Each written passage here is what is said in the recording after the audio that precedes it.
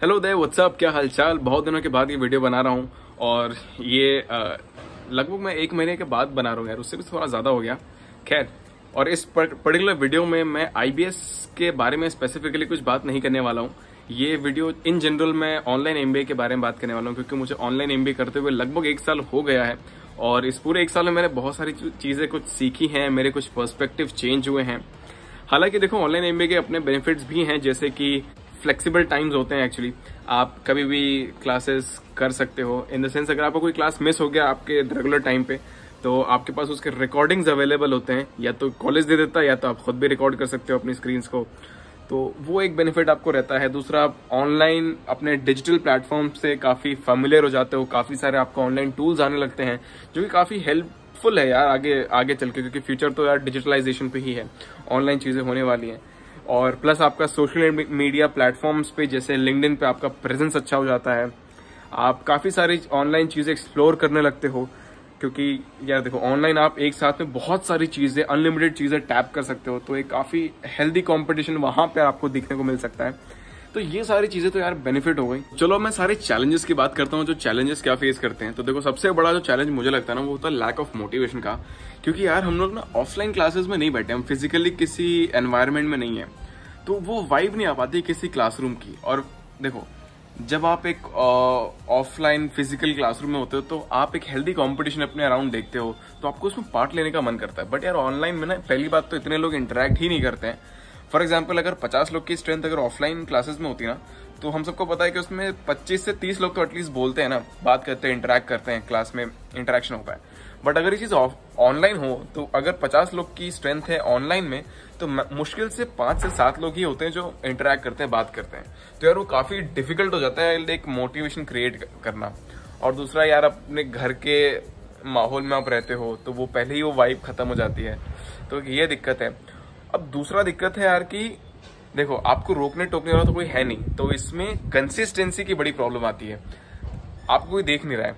आप मस्त अपना माइक ऑफ़ करोगे, अपना कैमरा ऑफ़ करोगे और कहीं डोलते हुए निकल जाओगे घूमने फिरने किसको पता यार, आपका फ्रेंड कॉल करेगा, आप फटाक से लॉगिन करोगे अटेंडेंस दे दोगे।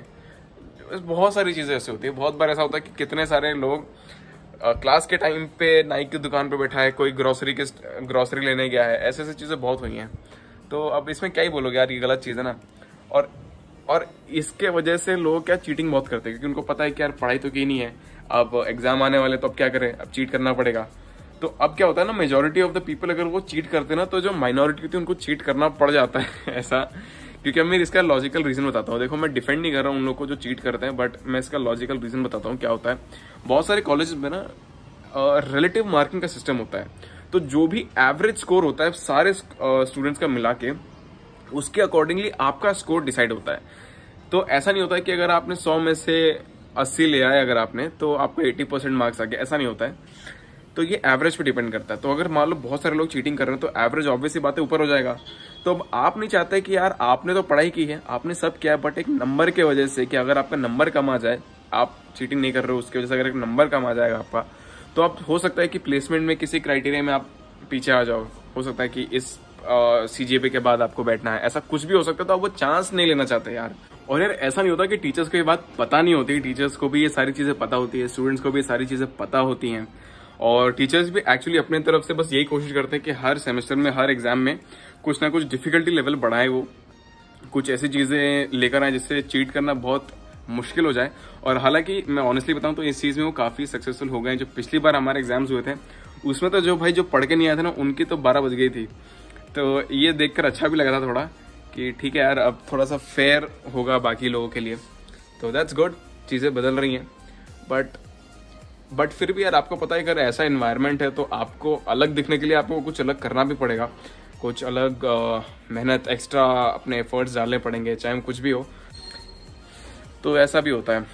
और एक जो सबसे बड़ा जो मुझे लगता है कि एक दिक्कत वाली बात है, और खास करके ये हम लोग के लिए तो ऐसा ज़्यादा ही हो गया, क्योंकि हम लोगों ने ये पूरा साल हमने ऑनलाइन निकाल दिया, और हमने फ़ीस वही ऑफलाइन वाली दी है।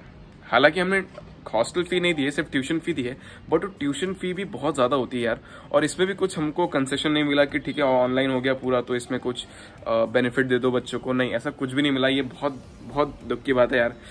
पर अब क्या बोलो, और सोचो, उनके लिए सोचो जो एक्चुअली लोन लेकर काफ़ी यू नो मुश्किलों से ऐसा कुछ अपना जॉब वॉब छोड़ के ऐसा पूरे एक साल अपना ये डिवोट किया इस ऑनलाइन एमबीए में और वो भी ये पूरा फ़ीस दे रहे हैं जो कि हम ऑफलाइन में एक्सपेक्ट करते हैं। अपने डिफेंस में ये लोग क्या बोलते हैं? जो कॉलेज वाले हैं, वो ये बोलते हैं कि हम लोग भी तो अपने प्रोफेसर की फ़ीस दे रहे हैं, हमारा भी तो मेंटेनेंस लग रहा है सर्वर का। बट यार आप लॉजिकली एक बात सोचो, बहुत सिंपल सी बात कि एक हज़ार बच्चे अगर आपके कैंपस में आ रहे हैं, उतना खर्चा, और एक हज़ार बच्चे आपके कैंपस में नहीं आ रहे, अपने घर से अपना वाईफाई अपना इलेक्ट्रिसिटी लगा रहे हैं तो भी क्या आपका सेम ऑपरेटिंग कॉस्ट आ रहा है? यार ऐसा तो नहीं होगा ना। आपका इलेक्ट्रिसिटी बच रहा होगा, आपका साफ़ सफ़ाई का पूरा खर्चा बच रहा होगा। कहीं आपने कुछ लोगों को निकाला होगा, भाई, हमें क्या पता। यार वो सारी चीज़ें ना हैं तो वो सारी चीज़ें सोच के ना अच्छा नहीं लगता। और कॉलेज प्राइवेट कॉलेजेस इन सब पे कुछ भी नहीं करता कुछ भी नहीं करता हाँ। बच्चे बहुत कोशिश करते हैं ऐसा अप्रोच करने की बट कोई रिज़ल्ट नहीं होता पेरेंट्स भी बात करते हैं, कोई रिज़ल्ट नहीं होता। तो इस स्पेसिफिकली इस पॉइंट को अगर ध्यान में रखें ना तो सीरियसली ऑनलाइन एम करना सही नहीं है। और खास करके तब जब अनसर्टेनिटी हो कि आपको सच में पता ही नहीं है कि यार कितने दिन में कॉलेज खुलने वाला है एक महीने बाद दो महीने बाद आपको कन्फर्मेशन नहीं है। तो यार मेरे पर्सनल एक्सपीरियंस के, के हिसाब से मैं बता रहा हूँ कि मत ज्वाइन करो। बेटर है कि ड्रॉप ले लो थोड़ा और प्रिपेयर करो। कोई बेटर कॉलेज मिल जाए अच्छी बात है। सेम कॉलेज भी मिले ना और ऑफलाइन में मिले तो बेटर वही है ऑनलाइन में अपना टाइम लगाने से अच्छा तो। हम लोग को देखो स्टार्टिंग में हम लोग को था कि ऑप्शन नहीं था, पता भी नहीं था कि कितना लंबा ये चीज़ चलेगा। और तो इसलिए हम तो हम लोग ने एडमिशन ले लिया यार, और हम लोग को तो यही बताया गया था कि अब दो महीने बाद या तीन महीने बाद अब कॉलेज खुल जाएगा। हम लोग उसी उम्मीद में बैठे रहे कॉलेज खुला नहीं फ़ीस कम हुई नहीं, ये सारी प्रॉब्लम हुई। और हाँ एक और चीज़, अगर आप ऑनलाइन एम कर रहे हो तो मेक श्योर कि you have a very good internet connection क्योंकि यार, अगर इंटरनेट कनेक्शन में जरा सी भी दिक्कत होती है तो आप क्लास में ध्यान नहीं दे पाते। सिंपली बिकॉज़ यार, अगर फैकल्टी की वॉइस लैग हो रही है तो वो आपके नेटवर्क के इश्यू के कारण वापस रिपीट नहीं करता ना। एक बार कर देगा, दो बार कर देगा बट हमेशा ऐसा नहीं होगा। तो उस चीज़ का ध्यान रखना कि इंटरनेट कनेक्शन अच्छा हो, अगर एडमिशन ले रहे हो बट पर्सनली इस पूरी चीज़ को मैं कंक्लूड करूँ तो यार ऑनलाइन एम करना वर्थ नहीं है। स्पेशली ये ऑफलाइन की फ़ीस देकर तो नहीं है। अगर ये फ़ीस का कंसेशन हो जाता है ना तो फिर इतना कोई इशू नहीं है, क्योंकि आप देखो सिलेबस सेम है, पढ़ाने का पैटर्न सेम है, बस थोड़ा सा आपको चीज़ों में एडजस्ट करना पड़ेगा, कुछ चीज़ें नहीं होंगी।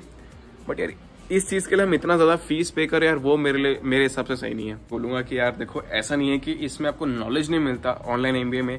आपको भरपूर नॉलेज मिलेगा। आप डिफरेंट डायमेंशन को आप एक्सप्लोर करोगे, अपने ही स्किल्स को एनहेंस करोगे। ऐसा नहीं होता है कि आप कुछ भी नहीं सीख रहे हो, बहुत कुछ सीखते हो बट अब चीज़ें थोड़ी अलग होती हैं, एक अलग डायरेक्शन में आप चीज़ें सीख रहे हो। हाँ तो बस इस वीडियो को यहीं तक रखते हैं, बाकी बातें फिर कभी करेंगे, किसी और वीडियो में करेंगे। तब तक के लिए बब बाय टेक केयर और खुश रहो बाय